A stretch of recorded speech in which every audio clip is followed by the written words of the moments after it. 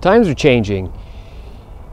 You've done this career for some time, and I'm talking to you guys that have been in this business for at least four years, and you've seen some things, and you've done this work, and you know in economic corrections in the future, this is a reality. What else is happening is your body's changing. If you've done this for a while, you know what plumbing does to your body after a period of time. You've been through those incredible Texas summers and really hot and hardcore.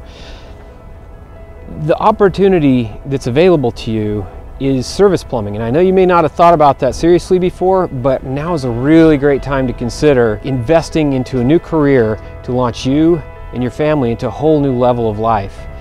The average Radiant technician works 38 and a half hours a week and only 40% of that on a busy week is wrench time. So that means 60 to 70% of their time is spent driving, turning in paperwork, and talking to customers. So this is so much easier on your body than construction is. Now, that same plumber that's working 38 hours a week and only turning wrenches for 30 to 40% of it is earning over $100,000 a year. But what I want to offer you is to swing by Radiant, set up an appointment, come meet us. We have a weekly meeting where you can come meet some of our guys and chat with them. You can also do a ride along. We'll let you jump in a truck and go spend a day with a technician, get a sense of what that world's like.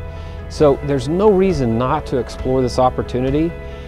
And I can't tell you, the lives that we've changed by stepping into this career and learning the new skills, it, it goes beyond the money and the, uh, the, the wear and tear on the body, but they're learning amazing skills about working with people and solving problems that you're just not going to learn in the field in construction that change your marriage and the way you relate to the whole world around you. So the training that we do is just remarkable in communicating with human beings that literally changes your life forever. So I really would offer you to consider this opportunity.